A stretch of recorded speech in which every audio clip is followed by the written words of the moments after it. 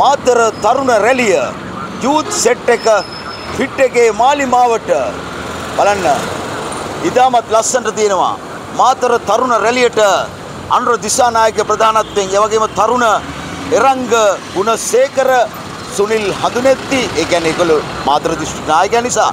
චතුරංග Jagath Manuwarna Mahesh Ambepitiya Sebastian Linta Sangeeth Wijesuriya ඇතුළු අ, විශාල පිරිසක් ඉන්ද්‍රජාපා ලියනගේල ඇතුළු විශාල පිරිසක් එනවා මෙතෙන්ට.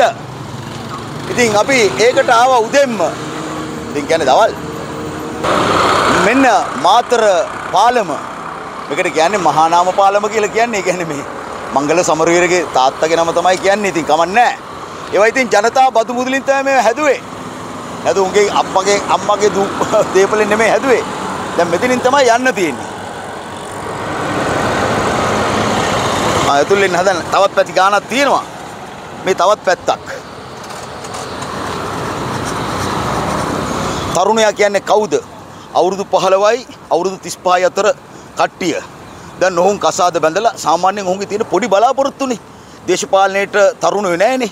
දේශපාලනයට තරුණයෝ ඉන්නවනම් මේ මේ ඒක પરම්පරාවෙන් එන අයට විතරයි ඒක උරුම. මේ තියෙන මේ නිල්වලා ගඟ තියෙන්නේ මේ මේ පැත්තෙන්. අර අහලා තියෙනවනේ මාතර ගඟේ ඉන්නා කිඹුලිගේ පැටියා. තල්ල සුදයි ලේ ගෝම්බර කැටියා. යන්නේන පාරු දැක්ක මේ මොකද මම හරියට මතක නෑ. මිනිනොකයි මාතර කිඹුලිගේ පැටියා. අපි යමු බලන්න ඉස්සරහට. දැන් ඊ타මාත්ම කිට්ටුයි. ඊ타මාත්ම මනරම් පරිසරයක්. අර එහා පැත්තෙන් වෝටර් බෝට්ස්, වෝටර් ජෙට්ස් තමයි ඔය සද්ද එන්නේ. ලස්සන තැනක්. ගඟ.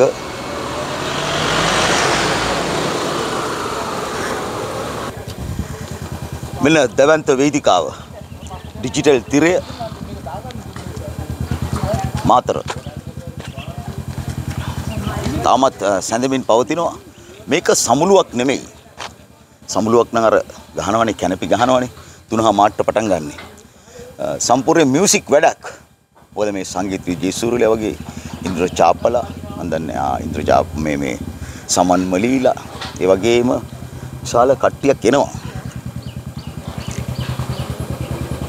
මුළු මාතරම යූත් එකට සෙට් වෙනවා මාලිමාවට. ඒ වගේම විශේෂයෙන් සඳහන් කරනවා නම් 1988 කැරල්ලක් තිබුණා ඔයගලට මතකයිනේ. ඒ කැරල්ලේ පස්සේ තරුණ අසහන කොමිටි වාර්තාව කියලා එකක් පිළිදැක්කුවා. ඒකෙදි තරුණයන්ට තරඟ විභාග පැවැත්වුවේ ඒකෙන් තමයි. ඉස්සර තරඟ විභාග පැවැත්වුවේ නෑ. ඒ තරඟ විභාග පවත්වලා රැකියා ලබා දීමේ වැඩපිළිවෙල ඇති කරේ ඒ තරුණ අසහන කමිටු වාර්තාවේ නිර්දේශ මස. ඒක අර කැරැල්ලේ හේතුවක් වශයෙන් තමයි කරේ. ඉතින් හැමදාමත් තුනේ තරුණයා වන්දන එක. තරුණයා හිතන්නේ මේ අපිට උරුමයි කියලා මේ සාමාන්‍ය ජීවිතයක් ගත කරලා අපේ පවුල නඩත්තු කරන එක. නමුත් ලෝකේ රටවල් වල තරුණයා කිව්වම මොකද්ද? තරුණයාගේ ශ්‍රමයට අගයක් නැහැ. තරුණ ශ්‍රමය ඒ කියන්නේ මේ සීළු රැකියාවලට ශ්‍රමයට නම්බුවක් දෙන වැඩපිළිවෙලක් තමයි ඇති කරන්න ඕන. ශ්‍රමයට නම්බුවක් නැත්තම් ඒක වැඩක් නෑ. මොකද ඔගොල්ලෝ දැකලා ඇතිනේ ලෝකේ රටවල් වල මහාචාර්යවරයයි සාමාන්‍ය සුළු සේවකයයි එකට කනව බොනවා. සර් මිස් නෑ, මැඩම් නෑ, මිස්ටර් කියලා කතා කරන්නේ. අන්නේ ක්‍රමය තමයි මේ රටේ ඇති කරන්න ඕන. මම හිතනවා ඒ ක්‍රමය ඇති කරයි කියලා අනුර දිසානායක ප්‍රධානත්වයේ. මොකද අපිත් ලෝකේ රටවල් වල ගිහිල්ලා තිනවා. අපි ඔඩ් ජොබ්ස් කරනකොට අපිට එක මේසෙ කනකොට අර කලීග්ස් සමතැත්ත තියෙනවා. අපිව කවුරුත් මේ පල්ලෙහාට දාලා කතා කරන්නේ අර අර ගැහණු අපි එක මිටට වගේ මේ තරුණයෝ අපි එක මිටට ඒ කියන්නේ රැකියා අවස්ථා උස් පහත් කියලා නැහැ. සියලු රැකියාවලට ශ්‍රමයට නම්බුවක් ගේන වැඩපිළිවෙලක් ඕන. ඒක තමයි මේ අනුර දිසානායකගේ ප්‍රධානත්වයෙන් මේ ඇති කරන්න හදන්නේ. මේ තරම් දරුණු අසහනකාරී තත්ත්වයක් ඇති වුණේ මොකද 88 89 මේ රටේ තරුණ පරපුරේ ප්‍රකාශිත මතවාදයේ සහ සැබෑ ඌමනාව අතර අ, විශාල විෂමතාවයක් තිබුණා. ඒ ඒ ප්‍රකාශිත මතවාදයේ බොහෝ දුරට අ, සමාජවාදයේ දේශිකත්වයයි කියන දේවල් වලට නැඹුරුවක් තමයි තිබුණේ. නමුත් ඒක සැබෑ ඌමනාවක් විදිහට අද දේශිකත්වයේ අගය කරලා අ, ඒ කියන්නේ මේ මේ රටේ සම්පත් වලින් වැඩ ගන්න පුළුවන් ක්‍රමයක් ඇති කරන්න පුළුවන් අ, ශක්තියක් තියෙන්නේ ජාතික ජනබලවේගයට කියලා. මෙච්චර සම්පත් ප්‍රමාණයක් තිබිලත් ඒක වැඩකට ගන්න නැතුව කරන එක ගැන තමයි මේ තරුණයෝ අපි කියලා දෙන්න හදන්නේ මේ ජාතික ජනබලවේගය. මොකද තරුණයා ප්‍රාර්ථනා කරන්නෙම හැමෝම කියන්නේ පුතේ මේ රට දාලා ඵලයන් හොඳට ඉගෙන ගත්ත කෙනාට කියන්නේ කොයිද යන්න හදන්නේ රට? කොයි ශිෂ්‍යත්වයක්ද ගන්න හදන්නේ? කොහොම හරි දේපොළ විකුල්ලා රටට යන්න තමයි හදන්නේ. රට යන්න තමයි හදන්නේ. අපි කියනවනේ පින්කෙත මේ රන්දරනේ යලි උපදින්නට හේතු වාසනා වේවයි කියලා.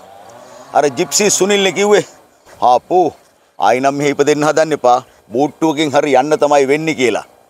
ඒ කාලකන්නි මජර ක්‍රමයට තිත තියෙනවා. මොකද දැන් හැමෝම රට ගියන් පස්සේ මේකේ ඉන්නේ පොල් කුඩු. ඒකට එරෙහිව තමයි මේ ජාතික ජන බලවේගයේ ආණ්ඩුවක් එනවා සත්‍යයි.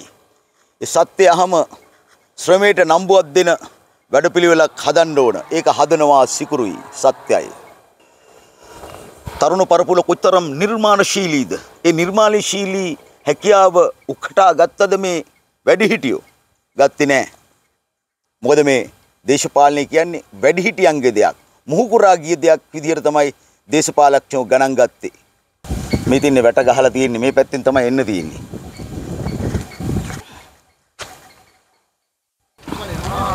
ලංකාවේ වෙච්ච දේ තමයි මේ තරුණයාගේ කරපිටින් තමයි දේශපාලඥයෝ ආවේ හැමදාමත්.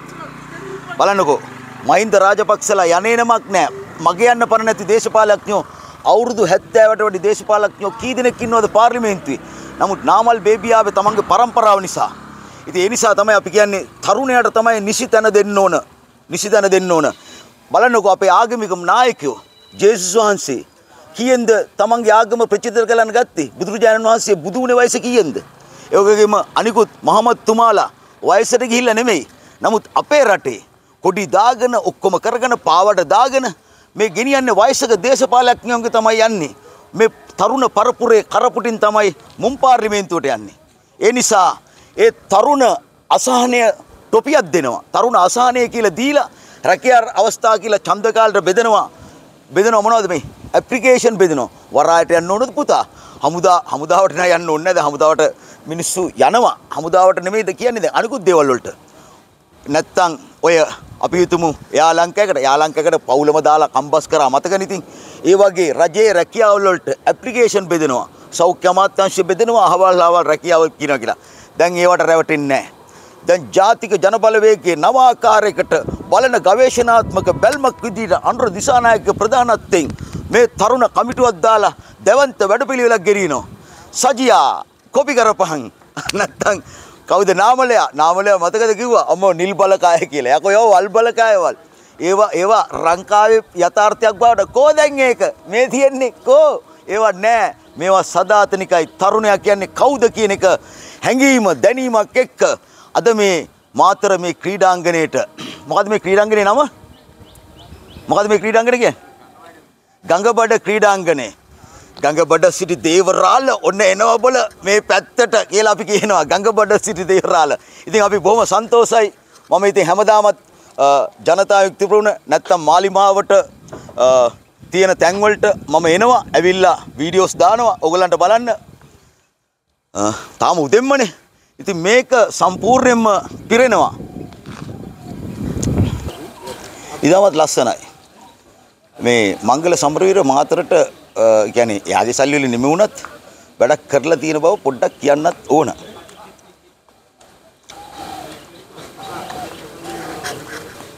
එන්න මාතර ජනතාවට විතරයි ආරාධනාව තියෙන්නේ. පිටින් ගේන්නේ නැහැ. ඉතින් ඊට පස්සේ මේක මාතරින් පස්සේ කරනවා අපි හිතමු හම්බන්තොට ඊට පස්සේ ගාල්ල ඊට පස්සේ අර දේවල් එක්ක කාන්තාව එක මිටට වගේ මේ තරුණ කට්ටියත් එක දිගට යනවා. ඒක හොඳයි. එතකොට නියත වශයෙන්ම ජයග්‍රහණය කරනවා කියන එක පේනවනේ. බලය කොතෙන්ටද තියෙන්නේ කියලා පේනවනේ ඔයගොල්ලන්ට. Horn horn loudspeaker horn. ඒකම ඉතින් මාතර පුරාවිද්‍යා කෞතුකාරයත් මම බලනවා ඒකම නම් දාන්නේ මේකත් ඉතින් නොපෙන්න බෑනේ මාතර පෞරාණික ඓතිහාසික මාතර කොටුව දේවාලයනේ කියන්නේ මේකට. අලියට ඇහැ නැහැ. අපි ඇහැ තියන්න ඕනේ මේ. මෙන්න මෙතන ලස්සනයි NPP කියලා ලස්සන්ට කොඩි වලින් වර්ණවත් කරලා තියෙනවා. මේ පාර හක්මන පාර. හක්මන පාරත් ඉතින් සරසලා තියෙනවා. බොහොම ලස්සනයි. එනිසා අවසාන කරනවා අනගාരിക ධර්මපාල පිළිමේ ළඟින්. මෙන්න යකෝ දිලිත්ගේ පින්තූරයක් තියෙනවා. අන්න ඒකත් බලමු පොඩ්ඩක්. දිලිප් ආම්මට උඩ. 10 වෙනිදා තිබිලා තියෙන්නේ Matara the Grand Navaro hotel පාර්ශවයේදී. අම්මා ණය කොහමද? බලා ණයි දැම්මා. අපි ණයව අල්ලන් ආපු තැන පෙන්නුවා දිලිප් ජයවීර. ආයි වෙස් මුණු බඳන් ආවට නෑ අපි රැවටෙන්නේ. දිලිප් ජයවීරට කියනවා පව් බං. බලන්න පුළුවන් ද මේ වගේ වැඩක් කරන්න? අයියෝ දුකයි. ඉරිකිතයි ලැජ්ජයි බයි ධම්මික පෙරරවයි දෙන්නම තියලා දෙන්නම එකට තියලා දිල් දෙක දෙකෝ කියලා අරිනවා අපි ඡන්දේ තියලා බලපන්කෝ